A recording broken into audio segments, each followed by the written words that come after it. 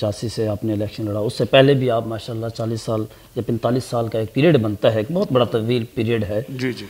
آپ نے ذوالفقار علی بھٹو صاحب کا بھی بطور وزیر اعظم ان کو بھی دیکھا پھر مختلف وزراء اعظم آتے رہے ملک کے۔ آپ عمران خان نواز شریف اور محترمہ بے نظیر بھٹو شہید اور ذوالفقار علی بھٹو اور دیگر میں آپ نے کیا موازنہ دیکھا؟ کیا کس انداز میں دیکھتے ہیں آپ؟ کیا سمجھتے ہیں کہ عمران خان اور ان میں کیا فرق رہا ہے میری عرض ہے جی اصل میں ٹیم کامیاب کرتی ہے۔ لیڈر تو جو لیڈر ہوتا ہے نا، ذوالفقار علی بھٹو صاحب بہت بڑے لیڈر تھے اور اس ملک کے لیے ایسٹ تھے۔ اور زندگی موت تو اللہ کے بس، اگر وہ ہوتے تو ملک کے اور کافی بہتری کر جاتے۔ تو لیکن وہ ٹریجڈی ہو گئی، میں اس ڈیٹیل میں نہیں جانا چاہتا۔ میں چھوٹا تھا جب والد صاحب ان کے جلسوں وغیرہ میں جاتا تھے تو میں بڑا امپریس ہوتا تھا ان سے۔ تو مجھے کہنے کی ضرورت نہیں بہت انہوں نے کام کیے۔ لیکن ان کے ساتھ ٹیم نہیں صحیح تھی۔ میں سندھ کی بات نہیں کرتا پنجاب میں۔ اور وہ تجربے کار نہیں تھی کیونکہ اس وقت وہ کہتے تھے جب کھمبے کو بھی ٹکٹ ملے تو وہ بھی جیت جائے گا۔ تو وہ ٹیم ان کے پاس نہیں تھی۔ لیکن الحمدللہ ہمارے قید میاں نواز شریف صاحب کا اپنا بھی بخت تھا ٹیلنٹ تھا ان کے پاس ٹیم بہت اچھی جو پولیٹیکلی فیصلے کرتے تھے۔ اور میں سمجھتا ہوں عمران خان صاحب کے ساتھ بھی یہی ٹریجڈی ہے کہ وہ ملک کے لیے کرنا چاہتے ہیں الحمدللہ لیکن سیاسی فیصلے ہوتے ہیں۔ پولیٹیکلی فیصلے کریں گے تو کامیابی ہوگی۔ تو وہ کچھ لچک کچھ پولیٹیکلی فیصلے جو میں عمران خان میں سیاسی بلاغت نہیں ہے؟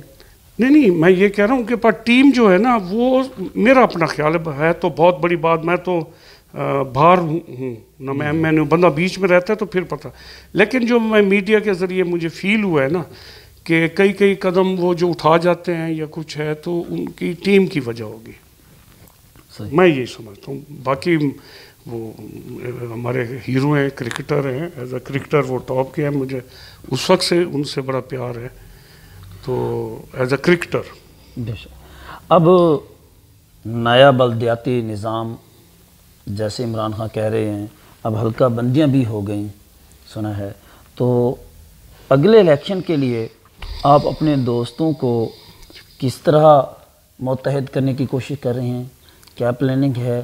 اور کیونکہ تحصیل میں تو آپ نے اپنے تمام دوستوں کو ہی اپنے گروپ کو ساتھ لے کے چلنا ہے، تو تحصیل لیول پھر ڈسٹرکٹ کے حوالے سے بھی کیونکہ اب آپ ان ہیں وہاں دیوان محمد عباس صاحب رہے تو اس حوالے سے آپ کیا کہیں گے؟ میرے عرض ہے جو عمران خان صاحب نے اینٹ رکھ گئے نا کہ سال ڈیڑھ سال بعد ختم کر دیں۔ سپوز لوکل باڈی الیکشن کرتے ہیں تو عمران خان صاحب کی حکومت ختم ہو جاتی ہے۔ پھر آگے جس کی آئے گی وہ ختم کر دے گا۔ تو کیا فائدہ ہے ایسی لوکل جو ٹڈوری پورا نہ ہونے دیں؟ تو میں تو لوکل باڈیز کا یہ دیکھ کے کہ اس کا تو ایک صرف قلم کی مہارت دستخط کی اور آنر چیئرمین جو قابل احترام ہے نیچے تک ایک پاور ہے ہوتی ہے۔ ممبرز ہوتے ہیں جو عوام تک ڈائریکٹ ہوتے ہیں۔ ان کو ایک منٹ میں ختم کر دینا۔ میں تو دل برداشتہ ہوا ہوں اس لوکل باڈی الیکشن شکر ہے الحمدللہ پہلے اسی طرح M P M N S کے ساتھ ہوتا تھا۔ وہ تو آپ شکر ہے پانچ سال ٹنڈور پورا کرتے ہیں تاکہ پالیسی اپنی ڈیولپمنٹ اپنی وہ پوری مکمل کر سکیں۔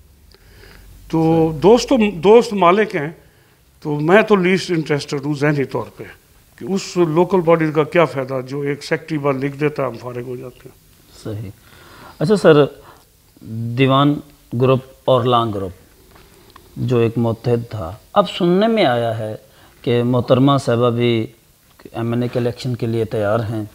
کوئی پس پردہ جو ہے نا کچھ سیاسی طور پہ جو ہے نا سیاسی چالیں چلی جا رہی ہیں۔ تو اس حوالے سے تھوڑا سا میں پہلے تو مجھے یقین نہیں ہے کہ اس طرح بی بی میرے لیے بہت قابل احترام ہے اور بڑی سمجھدار ہیں۔ اور بلکہ میں مشکور ہوں ان کے گروپ کا، تو وہ بھی میری طاقت بنے ہیں۔ اور ہمیشہ بی بی کو یہی کہتے ہیں کہ ہر کسی سے بہتر یا سنسیئر آپ کو یہی ملے گا، میرا خاندان، میرے بیٹے اور میں۔ تو بی بی بھی یہ چیز سمجھتی ہیں۔ کیونکہ ہم وہ ہی ہیں جن کی انڈرسٹینڈنگ چلتی رہی ہے۔ M N A M P ورنہ M N A M P کی اپنی بڑی لڑائی ہوتی ہے۔ ایک ایک مسئلے پہ لڑائی ہوتی ہے۔ تھانے تحصیل میں مسئلہ چلا جائے لیکن ہم نے ایک دوسرے کے ساتھ ان کے دوستوں کی بھی مہربانی ہے بی بی کی مہربانی میرے دوستوں کی بھی مہربانی ہے بھی کمپرومائز کر کے چلیں اور جو علاقے کا فائدہ بھی ہوا ہے۔ لیکن اگر اکثریت عوام کی اور یہ ہم فیل کرتے ہیں کہ بی بی کی کامیابی ہو سکتی ہے مین تو مسئلہ ہے کہ جلال پور میں رہے۔ آپ بی بی کا نام کہہ رہے ہیں۔ بی بی تو میری اپنی بہن ہے، میرے سر پہ، کہ میں کہہ رہا ہوں جلال پور کا کوئی آ جائے جس میں ٹیلنٹ ہو، ایم این اے، اور عوام چاہتی ہو رہے جلال پور میں۔ اور یہ جو دوست نادان ہیں، ہمارے مخالف یا کچھ، وہ ہماری ضد میں یا کسی وجہ سے اپنے علاقے کو نقصان دے جاتے ہیں۔ تو میں عوام کی خدمت میں عرض کرتا ہوں کہ ایسے دوستوں کا کہنا نہ مانیں۔ اپنے علاقے کا حق لیں۔ اور جلال پور کو ایم این اے شپ ملنی چاہیے۔ جب بھی جلال پور کو ایم این اے شپ ملی ہے بہت بڑا فائدہ ہوا ہے مرکز کے حساب سے جس میں میں نے عرض کیا سوئی گیس بھی آئی ہے موٹر وے بھی آئی ہے ایکسپریس روڈ بھی آئی ہیں اور بجلیاں بھی آئی ہیں۔ ایکسچینج والا تو یہ بہت فائدہ ہوتا ہے مرکز کی طرف سے ورنہ ہم رہ جاتے ہیں پھر۔ اچھا یہ بھی سننے میں آیا کہ بی بی اور رانا گروپ پھر متحد ہو رہی ہیں اور بی بی صاحبہ جو ہے نا، وہ قرار حسین کو لانا چاہ رہی ہیں اور بھی تاکہ ان کی ایک جو ہم سننے میں آ رہے ہیں ادھر اس گروپ سے بھی کہ قرار جو ہے نا اس حلقے میں الیکشن لڑیں اور جو دو سو چھ ہے اس میں ملک اکرم کنو اور M N A Rana Muhammad Qasim Noon. تو اگر اس پالیسی کو دیکھا جائے تو دو سو چھ حلقہ جو ہے ہمارا، اس میں آپ کے پاس کوئی مضبوط امیدوار بطور ایم پی اے جو کہ ملک اکرم کا مقابلہ کر سکے۔ تو پھر اگر خدا نہ خواستہ ایسا ہو تو آپ کیسے دیکھتے ہیں؟ پھر کیا صورتحال ہوگی آپ نے عرض یہ ہے کہ ملک اکرم صاحب اچھا ٹیلنٹ ہے ورکر ہیں لیکن ان میں ایک کبھی معاف کیا ملک اکرم سے بھی سیٹ جسٹ ہو سکتے ہیں؟ یا ملک ایوب گھلو صاحب آپ کے پاس جی میں عرض کر رہا ہوں ملک اکرم صاحب میں ٹیلنٹ ہے اچھا ہے لیکن یہ جب شجاباد والوں کو قبول کرتے ہیں نا تو یہیں سے یہ ہار جاتے ہیں۔ یہ اپنے اگر آزاد بھی لڑ جاتے نا جی، جی۔ تو مجھے ایسے فیل ہوتا ہے کہ وہ جیت سکتے تھے۔ اپنی ہے کیونکہ لوگ جو ہے نا کافی لوگوں کو اب اثر ہو گیا کہ کیا وجہ ہے۔ کہ اکثریت جلال پور کی جب اکثریت یونین کی تھی شوج آباد اس وقت بھی شوج آباد کا بنے۔ اب جلال پور کی اکثریت ہو گئی ہے یونینز کے حساب سے جی، پھر بھی شوج آباد آ کے بنے۔ تو وہ اپنے حلقے میں لڑیں وہاں بنے۔ تو اس وجہ سے ان کو نقصان ہوتا ہے ملک اکرم کروں باقی میں ایک عرض کروں، میں پہلے بھی عرض کیا ہے کہ ہر کسی کا حق ہے، ایم این اے لڑنا، ایم پی۔ میں تو ہر وہ چیز کروں گا کہ جو میرا دوست اور میرا خاندان جو میرے ساتھ ہے، جو وہ مشورہ دے گا، میں اسی طرح کروں گا۔ لیکن ابھی قبل اس وقت ہے۔ باقی اکرم کنو صاحب کا یہ ہے کہ وہ کوئی چیز ایسی ہے جو اندر والی باتیں ہیں، وہ میں ابھی نہیں بتا سکتا۔ وہ اینڈ ٹائم پہ جب ٹائم آتا ہے نا، میری عادت ہے، میں اس وقت کرتا ہوں۔ اور کوئی کام ایسا کرتا ہوں جو ہفتہ پہلے کرتا ہوں۔ سیاسی حوالے سے یہ کہا جا سک کہا جاتا ہے کہ آپ کے پاس ایسی کون سی جادو چھڑی ہے؟ تو آپ الیکشن نہیں لڑ سکے۔ لیکن اس الیکشن میں جو ہم نے دیکھا عام انتخابات میں ایک فضا تھی کہ جی دیوان ذوالقرنین حیدر بن جائے گا مگر محترمہ صاحبہ ہار جائیں گی جی۔ لیکن اتنا ورک کرنے کے بعد محترمہ صاحبہ جیت گئیں۔ اب پہلے تو یہ ہوتا تھا کہ لانگ گروپ کی وجہ سے دیوان گروپ جیتتا تھا۔ اس مرتبہ تو یہ آیا ہے کہ جناب لانگ گروپ دیوان گروپ کی وجہ سے تھا۔ لیکن دیوان گروپ سیٹ ہار گیا وجہ؟ میری عرض ایسے ہی کہ ہارے تو ہم نہیں ہیں وہ ہر کسی کو پتہ ہے اللہ کا فضل ہے۔ تو رانے صاحب کی خدمت میں عرض ہے کہ وہ عوام کے ذریعے آئیں ٹیکنیکل طریقے سے نہ آئیں۔ اصلی فتح وہی ہوتی ہے۔ آج ہم مطمئن ہیں کہ اللہ کی مخلوق کی اکثریت نے ہمیں چنا ہوا ہے۔ اکثری ایم این نے جو ہے وہ میرا بیٹا ہے۔ اور ہر کسی کو پتہ ہے کیا ہوا ہے۔ وہ ڈیٹیل میں جانے کی ضرورت نہیں ہے۔ تو الحمدللہ اللہ کی مخلوق کی اکثریت ہمارے ساتھ ہے یہی ہماری کامیابی ہے۔ اور میری دعا ہے اللہ تعالیٰ اسی طرح ہمیں کامیاب رکھے کہ جو اکثریت ہے جو اللہ کی مخلوق کے دل میں زیادہ بستا ہے وہ کامیابی ہے۔ یہ عہدے تو عارضی ہیں۔ آج ہیں تو کل میرے پاس عہدہ رائے رہا ہے لیکن اللہ کی مخلوق کی محبت میرے ساتھ ہے۔ یہ سب سے بڑی فتح ہے۔ اچھا جیسے میں نے پہلے ایک سوال کیا کہ سردار ایوب خان گھلو صاحب اور ملک اکرم کنہم دونوں کیونکہ آپس میں الیکشن لڑتے رہتے ہیں اور وہ بھی کنٹیسٹ کرتے رہتے ہیں۔ اگر جو میں نے سوال کیا تھا کہ خدا نہ خواستہ اگر ایسا ہوتا ہے تو رانا قاسم صاحب تو اپنی وہ اس جس انداز میں میں نے کہا کہ وہ ملک اکرم کو ادھر لے جانا چاہتے ہیں اور ملک قرار صاحب کو ادھر لے کے جانا چاہتے ہیں۔ کیا پھر آپ کے پاس آپشن یہاں اپنا بیٹا ہوگا یا ملک ایوب گھلو ہوگا یا کوئی اور بھی شخصیت؟ میری عرض ہے کہ قرار صاحب کو لینا چاہتے ہیں یہ تو بی بی سے پوچھیں نا آپ۔ میرا سوال تو میرا سوال یہ تھا کہ خدا نہ خواستہ ایسا ہو جائے تو پھر آپ کی میں آپ اسٹریٹجی پوچھنا چاہ رہا ہوں؟ تو جب خدا نہ خواستہ ایسا ہوگا پھر سوچیں گے نا۔ جب جب پہلے کیا سوچ رہے جب ابھی تو مجھے تو نہیں لگتا ایسا ہو کہ بی بی لیکن یہ یہ یہ ہوائیں آپ تک بھی پہنچتی ہوں گی میری یار سنیں مجھے آپ ہی فرما رہے ہیں۔ مجھے یہ یقین ہے کہ بی بی کا گروپ مجھے اتنا پیارا ہے جتنا مجھے اپنا گروپ ہے۔ کیونکہ آج اللہ کے فضل سے میں جو کچھ ہوں وہ بی بی کے گروپ کے ساتھ کی طاقت سے بی بی کا گروپ بیٹھ کے بہت پرانے لوگ ہیں بڑے بہت ووٹ ہیں ان کے پاس۔ بی بی کا گروپ بیٹھ کے اور ادھر سے ہمارا گروپ بیٹھ کے جو فیصلہ کرے گا مجھے لگتا ہے بی بی وہی مانیں گی جس میں ایوب گھلو ہمارے موسن ہیں اور جنہوں نے ساتھ دیا اور بی بی کے کامیابی کا بحث بنے۔ میں سمجھتا ہوں رانا افسر صاحب۔ باقی دوست تو ان کے بھی تھے ہمارے ساتھ۔ یہ دو بڑی طاقتیں تھیں جنہوں نے ہمارا ساتھ دیا۔ ہم ان کے مشکور ہیں۔ اور یہ نہیں ہو سکتا ہم ان کو اگنور کریں کہ جس کی وجہ سے میری بہن کامیاب ہوئی ہے۔ ٹھیک ہے میرا بیٹا تو ہرا دیا گیا وہ ٹھیک ہے ہم نے اللہ پہ چھوڑ دیا اور وہ اللہ کو یہی منظور تھا۔ تو لیکن جو میری بہن جن کی وجہ سے کامیاب بناتا تو اللہ سبب ہے تو ہم ان کو کیسے اگنور کر سکتے ہیں؟ یا بی بی کیسے اگنور کر سکتے ہیں جی۔ اچھا سر سیاسی حوالے سے ایک اور بات میری کہ آپ اب اگلا الیکشن خود کنٹیسٹ کریں گے۔